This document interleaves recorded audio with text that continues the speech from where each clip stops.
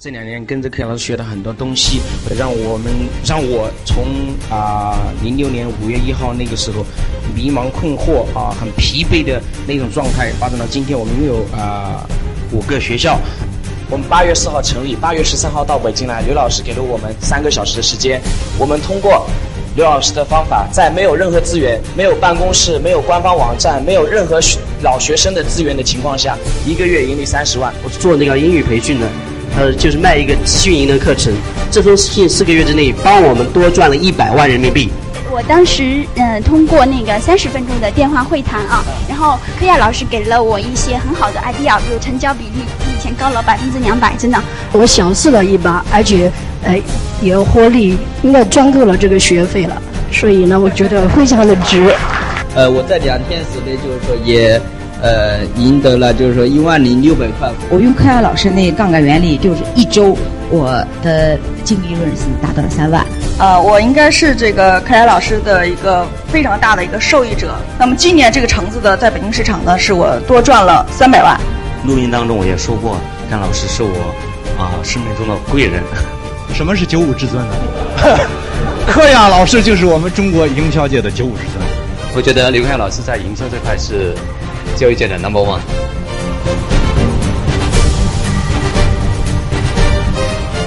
三万块钱的学费对我来说吧，就是呃，可以说相当于我嗯两年多的工资。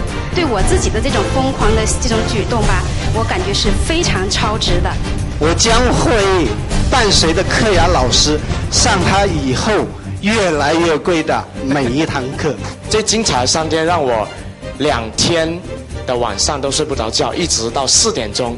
就是昨天晚上，我的公司给我打电话说呢，就是说我走了三天，嗯，他们在没有我的那个在的情况下，他们又赚了一个二点八万。这是这是柯亚老师给我带来的。我一直在沸腾。我真的觉得这几天收获匪浅，非常的感激刘老师。柯老师已经成为我生命当中除了父母以外最重要的人。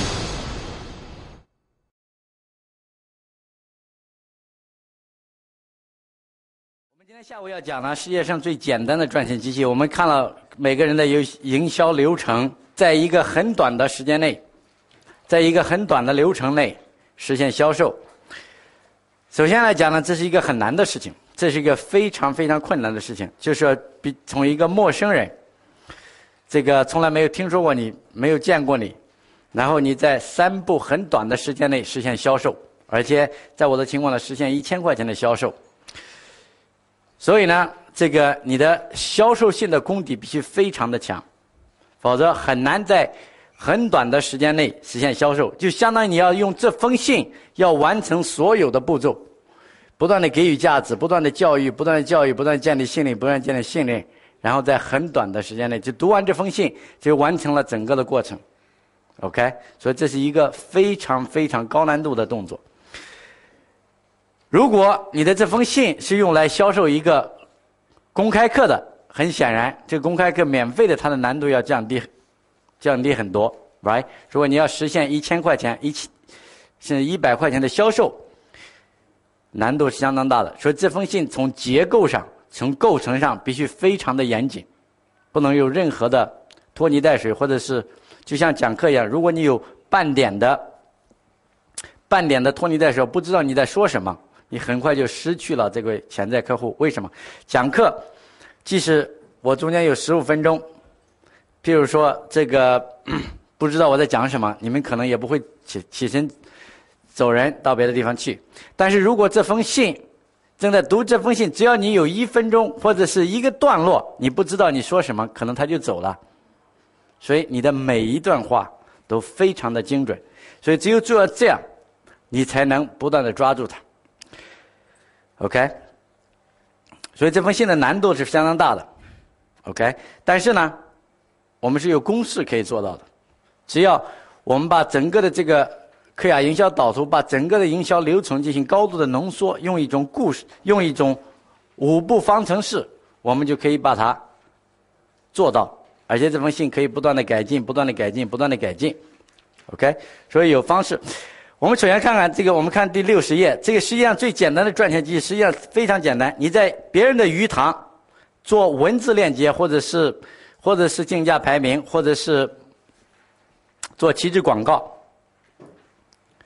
然后你基本上就是一段文字，七个字、八个字、九个字、十几个字，OK，然后通过这一这一个一段文字或者和一个标题，不仅要激发他的好奇心和兴趣，更加更重要的是，你要敦促他做一个动作，那就是点击。OK，如果他看不到你的广告、你的链接，等于没用；如果他看到了不点，也是没用。所以你的链接要两个作用：一让他看到，二让他点击。OK，二者缺一不可，否则等于浪费。所以你的鱼塘的广告在鱼塘里做一个很简单的旗帜广告竞价排名链接，然后他就到了你的销售信。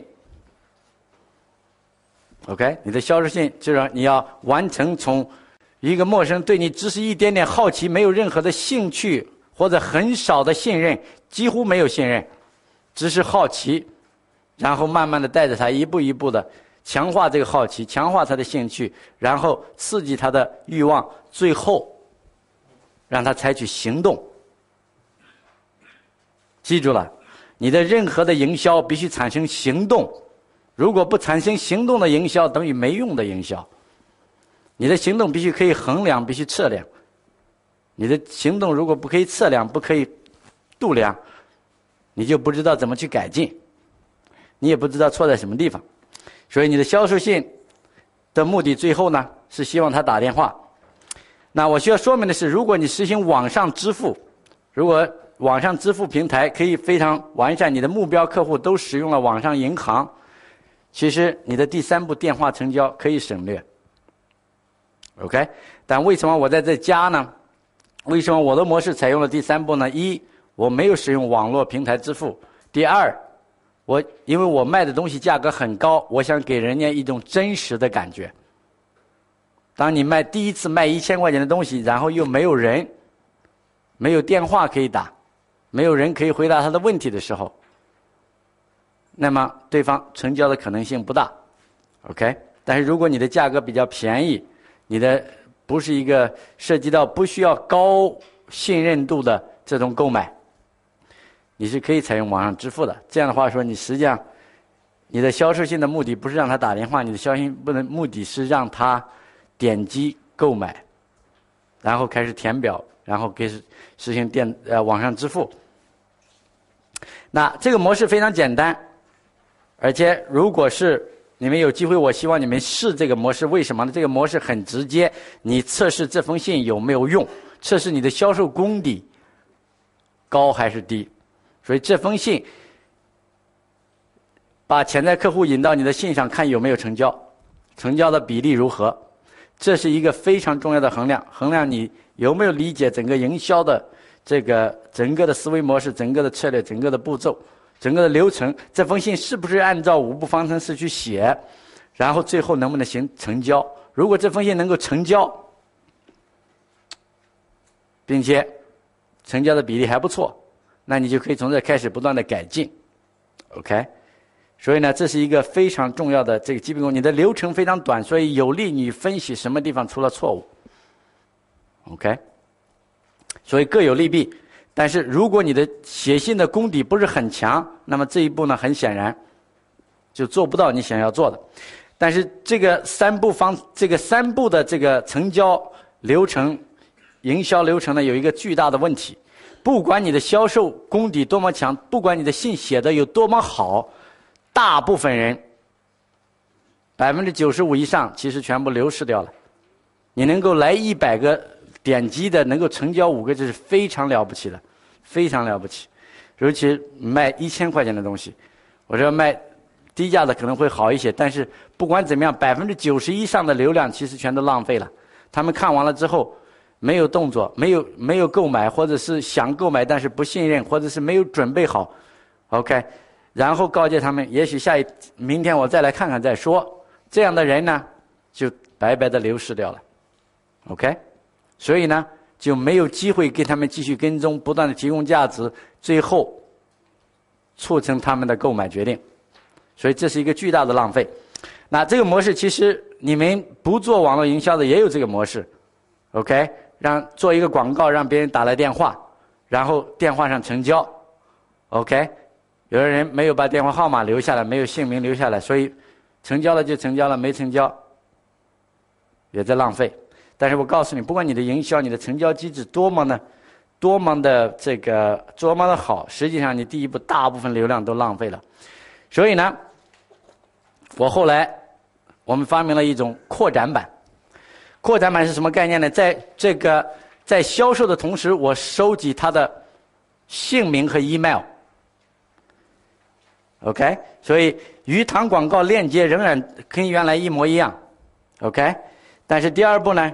我希望在他读信的过程中，我让他填写姓名和 email。这样的话说，我就可以给进一步跟踪，不断的给他提供新的信息、新的价值，最终促成他的购买。OK，我们测试了几种不同的版本。第一种版本是我们在里边，在我们的信中间插一段特别的赠品。OK，这个赠品呢是我的一个秘密资源库，或者是其他的电子文档。只要你填上姓名和电子邮电电子邮箱，我们就通过邮件发给你这么一个方式。我们在信里插上这么一个，你可以在前部插在中部或者在后部，甚至退出的时候有一个有一个这个弹出窗，都可以这样做。OK，那我们这么一做呢，我们通常最起码可以抓到百分之二十五左右的人，就是原来你的成交不足百分之五。不足百分之五百分之五百分之一二都是非常非常高的，OK，只是这么一做呢，我们抓到了百分之二十五，百分之二十五的人会留下他的姓名和的，在百分之二十五我们继续的跟踪，这是一个非常高的效率提高。但是后来我又发明了另外一种方法，我想这个在他读这封信之间，我强迫他先留下姓名和 email 地址，OK，强迫他就是写一段很短的文字。然后呢，我让他留下姓名、email，然后我再给他看这封信。如果这一一一短非常短的一页你写的非常精彩，OK，那么很多人会留下。事实证明呢，我们收集了大概百分之六十到八十，所有的来的人百分之六十到八十会留下姓名和电子邮箱，巨大巨大的，所以我们每天都有几千个。姓名和电子邮箱非常非常重要。第一百零九页，那一百零九页就是这封信，就是强迫他们留下姓名和 email。这封信呢，实际上他进入从别的链接，从鱼塘进入我们的网站的时候，看到的是这封信，非常简短。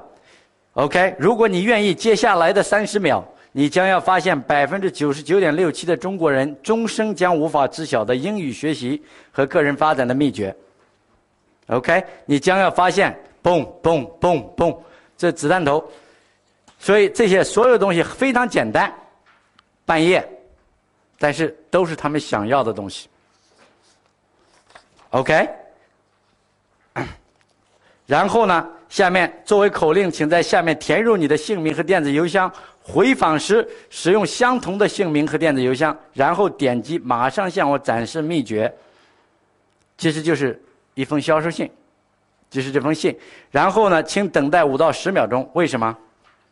提醒别人要耐心。OK，要要等下，然后给他一种这个说下面还有东西要过来。OK，当他填入姓名和电子邮箱，点击提交之后呢，我们的网页会变成谢谢你，你的特别通行证已发到你的电子邮箱，稍后请查收。所以让他去检查自己电子邮箱。这时候，如果他填的是假的电子邮箱，他会回去再再填一次，right？他知道我们要发给他东西，right？稍后请查收。现在点击此处阅读写给你的一封信。所以点击这里，你再看到我的销售信，OK？然后这个比那个有什么优势呢？一个是更多的人会填。但是这一段文字要写的非常非常的短，而且非常的精彩才行，OK？他呢这样的话说，更多的人百分之六十跟百分之二十几比，所以提高了三倍。那另外一个呢，就是我们原来呢采用是在一个信里插入一段特别赠品，但是这个插入所有的信，我的信写的非常的严谨，一步一步一步一步接着一步，非常的严谨。但是这个插入呢，会影响他的阅读，这是我不愿意接受的。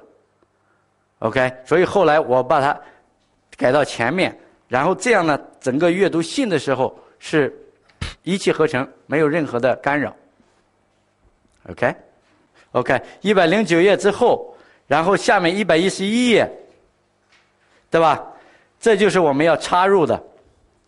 OK，这就是我们插入的这个这个在互联网的隐蔽处，我们专门为表演英语学员建了一个秘密资源库。收藏了表演英语最珍贵的资料，其中包括嘣嘣嘣。你记住，即使免费的东西，你需要塑造价值，否则人家不会要。人家今天为什么要填姓名和电话？呃，这个 email 给你，需要填。OK，完了之后，我们的系统提示他，我们已经发出 OK，请继续阅读这封信。OK，但是我不喜欢这样，就是它影响这个顺序，它影响他的阅读。当然，如果你一定，如果你一定要在信里插呢，有几种不同的插法，你可以插在最，那，你每次插的时候，OK，你你可以插在前部，插在中部，插在后部。一般来说，插在前部最好。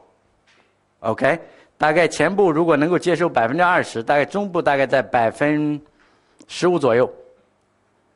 然后，如果插在最下面，大概只有百分之五到八之间。OK，每个情况不一样，你们需要测试。但有一个比例关系，为什么很多人没有读到下面，或者到下面他急于要走人，就没有去填这个？所以有一个有一个规律。那说到这里呢，其实有一个一个东西非常非常有意思哈。我们在很多时候我们促销结束了之后，那我们办公室可能放假了休息了，那我们还想继续销售，但是没有人怎么办呢？这个我们会。通常呢，我们我们你看，我们这个一百一百一十二对吧？